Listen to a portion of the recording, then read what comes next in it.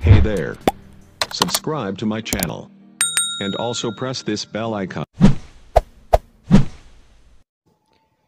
बिसमीम Gilani form YouTube channel में खुश आमदीद मैं हूँ आपका मेज़बान शबीर गिलानी आज एक नई वीडियो के साथ आपकी खिदमत में हाज़िर हूँ आज हम अपने इस मौजू के दौरान गुफ्तु करेंगे मशहूर ज़माना वली कामल हज़रत पीर सैयद शमसुद्दीन बदालवी रहमतुल्लाह का कबल इसके कि आपकी शख्सियत और सीरत के हवाले से गुफ्तु की जाए, थोड़ा आपके आबा व इदाद के हवाले से गुफ्तु कर ली जाए तो बेहतर है। आपके जद आला हज़रत पीर सैयद अकबर शाह बिन सैयद अबू सईद खाना यारी रहमतुल्लाह आप श्रीनगर खाना यार में पैदा हुए, बाद में कछुआ तहसील बारामूला सुकून अख्तियार की। आप अक्सर सैर व सियात के लिए बरास्ता पुंछ पंजाब वगैरह जाते और दौरान आमद रफ्त शहर पुंछ क्याम फरमाते।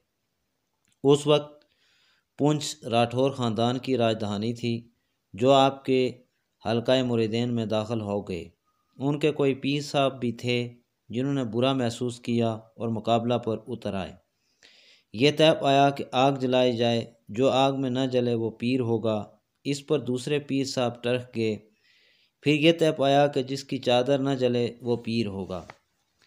पीर अकबर शाह साहब की चादर आग के शोलों का साहिबां बन गई, जबकि दूसरे पीर साहब की राख बन गई।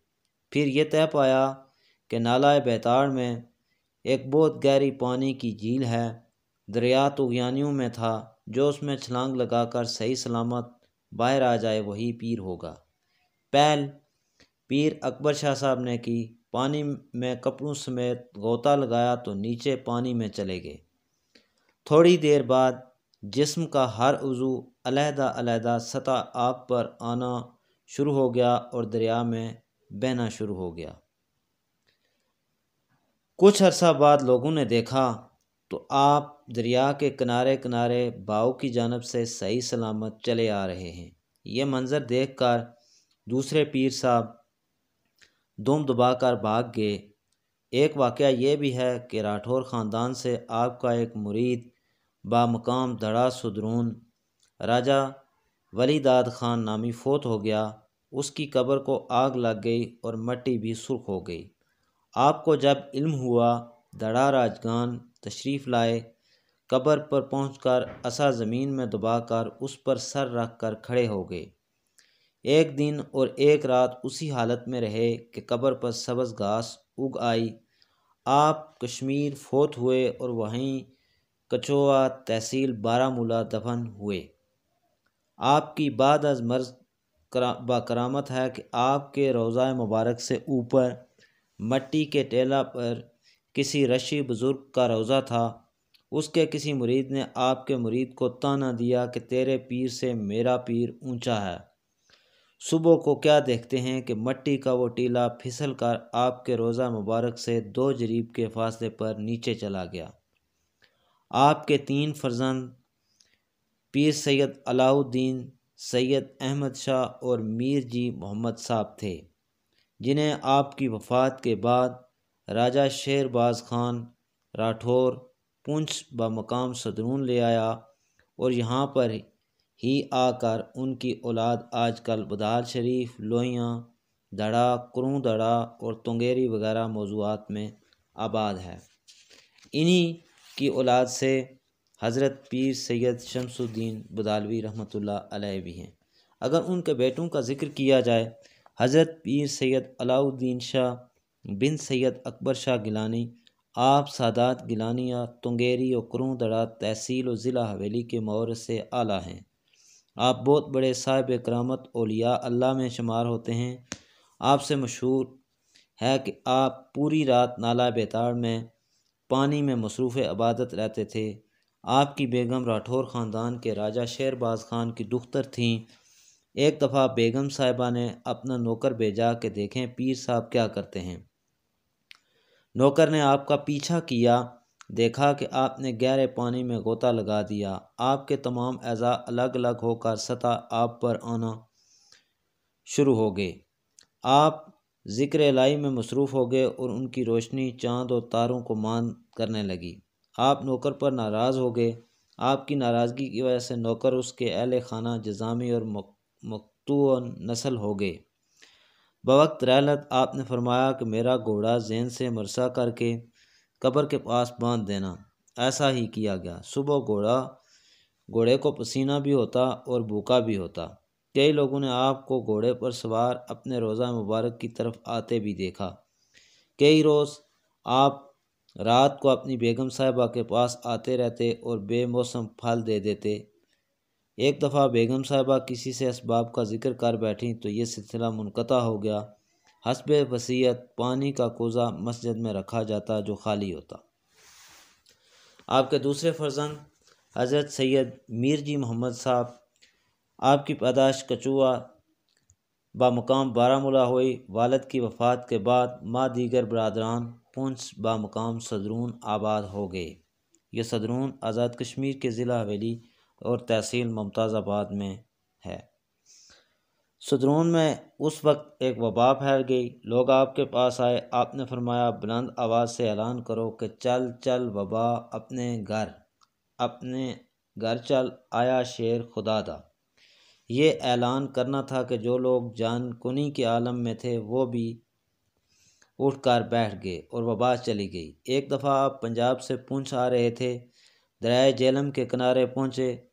मल्लाह को सवारियाँ पूरी हो गईं। आपको नहीं बिठाया। आपने नौकर को मसल्ला पानी पर बिछाने को कहा। आप माँ खादमान मसल्ला पर बैठे घोड़ा भी साथ तैरता गया और दरिया पार करके चले गए। नतीजा यह हुआ कि मल्लाह की कश्ती दरमियान में पहुंचकर चक्कर खाकर दरिया में डूब गई। फिर हर साल इस तारीख और वक्त पर उसी जगह कश्ती डूबने का सिलसिला जारी हो गया। जब मल्लाह इस हकीकत से वाकफ़ हुए तो तमाम आपके पाँव पर गिरे और हर साल न्याज व नज़र देनी शुरू की, जिससे डूबने की रस्म तो ख़त्म हुई, मगर इस जगह पहुँच कर कश्ती चक्कर खा जाती थी। आपके तीन फर्जंद थे, सबसे बड़े पीर मीर हसन साहब बदालवी, जिनकी औलाद इस वक्त बदाल शरीफ और दड़ा में आबाद है। दूसरे शाह साहब और तीसरे नूर बादशाह साहब हुए। इन दोनों की औलाद दड़ा में आबाद है। आपने इक्यानवे साल की उम्र में वफ़ात पाई। आपका रोज़ा मुबारक बुधाल शरीफ में है। उनके बेटे और पीर शमसुद्दीन बदालवी रहमतुल्लाह के वालद, पीर सैयद मीर हसन साहब बदालवी बिन हज़रत मीर जी मोहम्मद साहब हैं। आप मादरजाद वली कामल थे। कहते हैं कि आप आलम कमसनी में थे। आपके घर बहुत से लोग बैठे थे। सामने चरागाह में मवेशी चरा रहे थे कि किसी ने बतौर आजमाइश एक सफ़ेद बैल की तरफ़ इशारा करके कहा कि ये अगर गिर कर बच जाए तो तब मानेंगे। आनन फानन वो बैल दूर तक गिरना, गिरता चला गया और फिर टक्कर खड़ा हो गया। फिर उठकर खड़ा हो गया। जब यह खबर आपके वालिद साहब को पहुँची तो आप बहुत नाराज़ हुए और मना फरमाया। किसी मुरीद ने इस्तदा की कि मेरे खिलाफ कशी का मुकदमा है दवा फरमाएँ। आपने चंद चावल के दाने दम करके दिए, जो उसने पगड़ी में बाँध दिए। जब अदालत में पेश हुआ तो आप उसके साथ खड़े थे। पैरोकार ज़ोर देता कि सबूत मौजूद है। जज कहता, मिसल खाली है। जज ने उसे बरी कर दिया। इस पर फिर देखा तो वहाँ मौजूद, वहाँ पे कुछ भी मौजूद नहीं था। आपके पास आया और कहने लगा, आपने मेरे लिए अदालत में जाकर तकलीफ़ की। लोगों ने कहा यह तो सुबह से यहीं हैं। एक दफ़ा आप बमकाम उड़ी। हल्का मुरीदीन में थे। मौजूदा कालगही के लोगों ने शिकायत की कि दो शेर मवेशियों को नुकसान पहुँचा रहे हैं। आपने फरमाया, कल तक देखेंगे। दूसरे दिन दोनों शेर लड़ते लड़ते जंगल से निकल आए। और उसी हालत में दरिया जलम की नज़र हो गए आपने बाउमर तकरीबन नबे साल बरोज़ सोमवार बामताबक ग्यारह जमादी जमादियुसानी तेरह सौ छत्तीस हिजरी बामताबक तेरह चैत उन्नीस सौ पचानवे बिक्रमी वफ़ात पाई और बधार शरीफ मदफून हुए। आपने पीर इब्राहिम शाह हुंडी पीरा की दुख्तर से शादी की थी, जिनके वतन से पीर शमसुद्दीन बदालवी पैदा हुए थे। अब ज़िक्र करते हैं वली कामल पीर सैयद शमसुद्दीन बदालवी रहमतुल्लाह अलैह का। आप तेरह सौ हिजरी बामताबक अठारह सौ अठासी हिजरी अट्ठासी ईस्वी मवाफ़ तेरह उन्नीस सौ सतती बकरमी बदाल शरीफ में पैदा हुए। आप गौस ज़माना और बहुत ज़्यादा करामात थे। आपके आस्थाना पर हर वक्त लोगों का इधाम बिला तमीज़ मज़हब व मिलत रहता था। हिंदू व मुसलमान सब आते थे, लंगर जारी रहता था। जिस इलाका में इंसानों या हैवानों की कोई बीमारी या वबा वगैरह हो, आप ढोल बजवा, बजवाया करते थे। जहाँ तक ढोल की आवाज़ पहुँचती थी, वबा ख़त्म हो जाती थी। आपकी सरफ नज़र से जजामी मबरूस लंगड़े, अंधे वगैरह तंदुरुस्त हो जाया करते थे। आपकी करामात की तफसीर इस कदर लंबी है कि उनकी, उनके लिए इस वीडियो में हम बयान नहीं कर सकते। आपने बदाल शरीफ में वफ़ात पाई और वहीं पे मदफून हुए। आपकी करामात का ये सिलसिला आज भी जारी और सारी है। इस वक्त दरबार आलिया बुधाल शरीफ में हज़ारों की तादाद में लोगों का आना जाना रहता है और फ्यूज़ बरक़ात ले के जाते हैं। अगर आज के हवाले से बात की जाए तो पीर सैयद शमसुद्दीन बदालवी रहमत का उर्स मुबारक हर साल नौ दस अप्रैल को दरबार आलिया बदहाल शरीफ में मनक़द किया जाता है, जिसमें हज़ारों की तादाद में आज़ाद जम्मू कश्मीर, पाकिस्तान और बैरून मुल्क से मुरीदैन और अकीदतमंदान कसर तादाद में शिरकत करते हैं। यूँ तो दरबार आलिया बदहाल शरीफ के हवाले से बयान करना बहुत मुश्किल काम है, क्योंकि उसकी बहुत लंबी तफसील है। वहाँ से बेशुमार लोगों को फ्यूज़ व बरक़ात हासिल हो चुके हैं। दरबार आलिया बुधार शरीफ के अकीदत मंदानों मंदों की तादाद लाखों में है। तमाम सियासतदान, समाजी रहनमा, मजहबी शख्सियात दरबार आलिया बुधार शरीफ पे जाते हैं और दरबार आलिया बुधार शरीफ से फ्यूज़ व बरक़ात हासिल करते हैं। दरबार आलिया बुधार शरीफ के हवाले से मुख्तलिफ़ शराय कराम ने अपने अपने अशार में अकीदत का अकीदत का इजहार किया है। फ़ारसी, अरबी और देसी शायर या उर्दू ज़ुबान में मुख्तफ शुरा ने नजराना अकीदत पेश किया है। साई फ़कर दीन, जो पंजाबी के एक शायर थे, वो लिखते हैं, कीफ कुफर इस्लाम दा जोड़ होया, लगा आन के जंग जदाल अजकल।